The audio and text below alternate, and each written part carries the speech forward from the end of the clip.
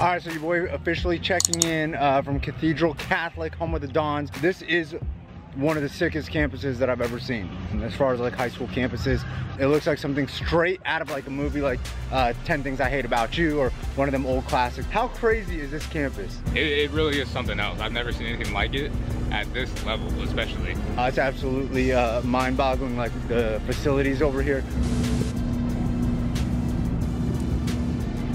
What was it like uh, the preparation and stuff going into this weekend preparing for this Notre Dame team? Yeah, we did it last year, so it's kind of similar format, getting out here a day or two early, um, keeping the boys busy. We had a film session for about two and a half hours last night, did our room checks, made sure everyone, you know, no downtime. And in keeping them busy, like what kind of activities are you guys doing out here? Hitting SeaWorld, yeah. the beach, like stuff yeah, like they, that? uh, kind of on- on the way out, we, so we pulled out of town around 7 yesterday, stopped in at Yuma Catholic, and they let us do a walkthrough for about two hours. Uh, loaded back up on the bus, stopped over at the beach for about 45 minutes, not getting in the water, just kind of stretching out, getting to the hotel, uh, eating dinner at the hotel, film for a couple hours, little walkthrough last night, in the room by 9, lights out, you know, waking up this morning, film, little walkthrough, heading over here. Hey, so talk to me about this uh, California weather and a great day to play some football. I'll tell you what, we are loving it here in California, man. We've been in 110 temp, and this is beautiful for us right now. We're ready. Hey, talk to me about the benefits of getting some of these early games in California. I've noticed that you guys have tried to load the schedule up that way uh, the past few seasons. Yeah, we, you know, we, we try to play the best teams we can early. We learn a lot from those early games, and you you can take things that uh, you need to work on and get that stuff done early. Because I mean, as we all know, it all uh, it all happens in the playoffs, and that's what we're, what we're really shooting for is to be ready for that. Yeah, shooting for that open because a lot of us think that you guys are one of the best teams in state.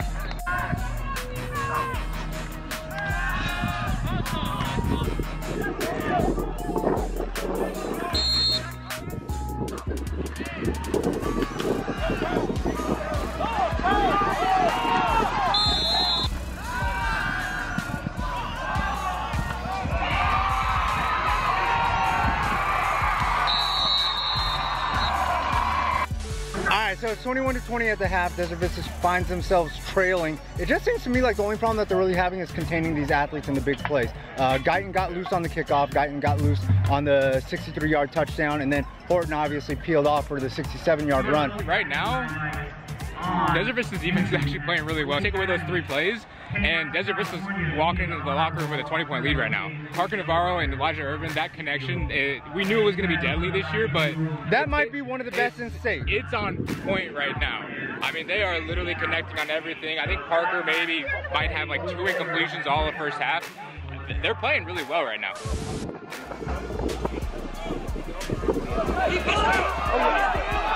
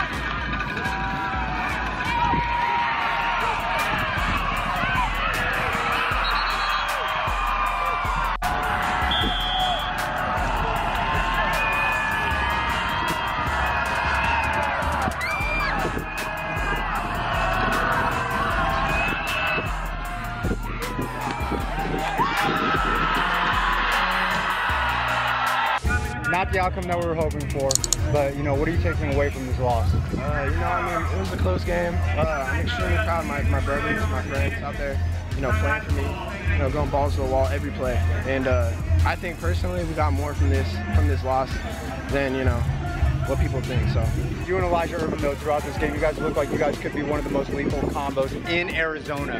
How do you guys feel? Uh, we feel good. I mean, we're always confident about what we can do, what we can bring to the table. But uh, but yeah, we just got to keep that connection. Got to keep it consistent. I got, I got to know about this demeanor. You're so calm in so many situations. You guys fall down by those two touchdowns, uh, and you're down 14 to seven early on. Calm.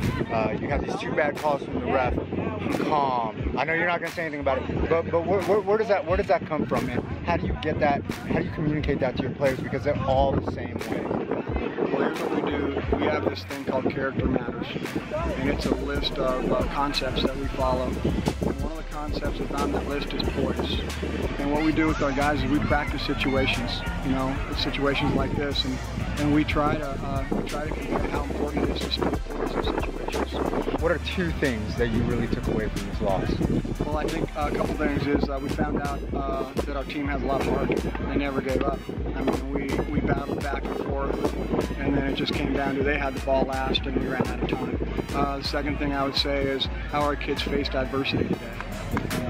Um, hey, things when things are going great, anybody can can perform, but under adversity, what are uh, what are kids going to do? And I thought our, I thought our kids passed that test.